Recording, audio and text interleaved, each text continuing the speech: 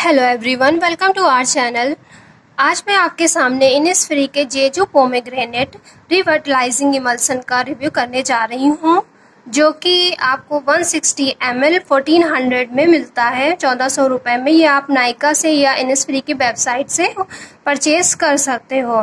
ठीक है, इसके पीछे एक स्टिकर था एंड ये कार्डबोर्ड पैकिंग में आता है, जो कि कर दूँगी आपको। मेड इन कोरिया ये कोरिया का ब्रांड है। ये एक इमल्सन है। अब ये इमल्सन क्या होता है कब यूज़ करते हैं इसके बारे में आ, मैं आपको डिटेल में थोड़ा हूँ। एंड ये पोमोग्रेनेट सीड ऑयल से बना हुआ है इमल्सन। सबसे पहले बात करते हैं इसको कब यूज़ करते हैं। तो इमल्सन को हमेशा आपको सीरम के बाद यूज़ करना होता है। और इमल्सन करता क्या है? तो ये एक light weight water based moisturiser होता है जो आपके हाइड्रेशन को रिटेन करता है। फिर नेक्स्ट क्वेश्चन आता है कि इमल्सन को मॉइस्चराइजर के बाद लगाना चाहिए या पहले लगाना चाहिए कि मॉइस्चराइजर हमें लगाना भी चाहिए या नहीं चाहिए ये बात आती है। तो अगर आपकी स्किन को नीड है अगर आपकी सुपर ड्राई स्किन है तो आप इसको लग, इमल्सन को लगाने बाद कोई सी भी इमल्सन को आ, लगाने के बाद आप मॉइस्चराइजर लगा सकते हो। अगर आपकी स्किन सुपर ड्राई है या आपको नीड है ऑयली स्किन वालों को तो अगर आप इतना सही लगा लेते हो तो इनफ है। फिर उसके बाद नेक्स्ट क्वेश्चन आता है कि मल्सन एंड इसेंस जो एक आते हैं सीरम आते हैं तो वो क्या सेम होते हैं? तो जी हाँ कि सीरम जो होता है, वो बहुत लाइट वेट होता है।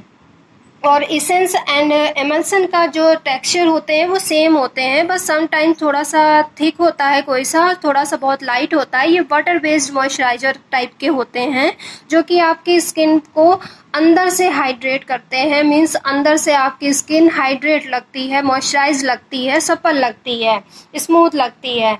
अब उसके बाद नेक्स्ट क्वेश्चन आता है कि serum ampoule emulsion and essence आपको क्या साथ में आप लगा सकते हो सब कुछ? तो ठीक है, आप अगर एक अच्छा स्किन केयर आप कर रहे हो, आपकी स्किन ड्राई है, आपकी स्किन को बहुत हाइड्रेशन की नीड है, आपकी स्किन इतना चीज़ें ऑब्ज़र्व कर सकती है तो आप ज़रूर लगा सकते हो। सबसे पहले आप सीरम लगाइए, फिर एम्पोल लगाइए मल्सन लगाइए एंड देन इसेंस लगाइए। इस तरीके से आप लगा सकते हो। तो totally up to you depend आपकी स्किन को नीड है, कितना आपको हाइड्रेशन चाहिए। अगर ऑयली स्किन वाले हैं या फिर ड्राई स्किन वाले, आप सीरम लगा के इमल्सन लगाओ, उसके बाद नेक्स्ट आप अपने कोई सा भी नॉर्मली मॉइस्चराइजर लगा के इसको टॉप अप कर सकते हो। फिर उसके बाद आप इसके टेक्सचर को दिखाते हैं कि ये कैसा है। छोटा सा स्मॉल सा, ये, इसको आपने हटाया जस्ट एंड जरा आपको चेक करना है। कोई सा भी आप प्रोडक्ट यूज़ करो, पहले आप उसको चेक कर लो थोड़ा सा एंड देन आप थोड़ा सा अब सबसे पहले ये क्लेम करते हैं कि आपकी स्किन आप देख सकते हो एकदम लाइट वेट वाइट सा टेक्सचर है।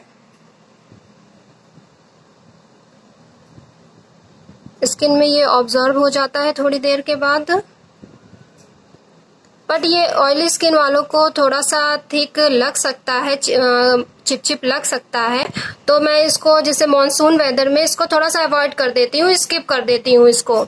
ठीक, इसको स्किप कर देते, पर ये ड्राई स्किन वालों को तो ऑल वेदर ये सूट करेगा, ये बहुत अच्छा ये क्लेम करता है, आपकी स्किन को फर्म करता है ग्लोई बनाता है, आपकी स्किन को रेडियंट बनाता है तो सच में ये वर्क करता है, ये बहुत ही अच्छा प्रोडक्ट है। अगर आप इससे हो तो प्लीज़ इसको बाय ज़रूर करना बट हाँ ऑयली स्किन वाले, इससे मानसून वेदर में आप इससे थोड़ा सा दूर रहिएगा अवॉइड करिएगा, क्योंकि ये बहुत ही हैवी लगता है।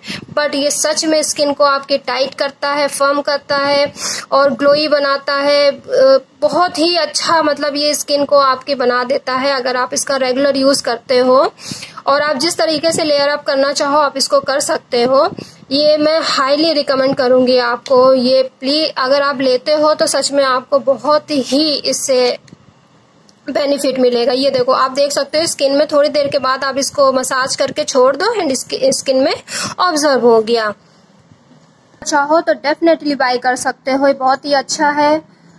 और वीडियो आपको जरा सी भी पसंद आई हो हेल्पफुल लगी हो तो प्लीज़ चैनल को सब्सक्राइब कर देना लाइक कर देना, और उसके साइड में जो बेल बटन है प्लीज़ उसको हिट कर देना, ताकि आपको फ्यूचर नोटिफिकेशन मिलती रहे। Bye thank you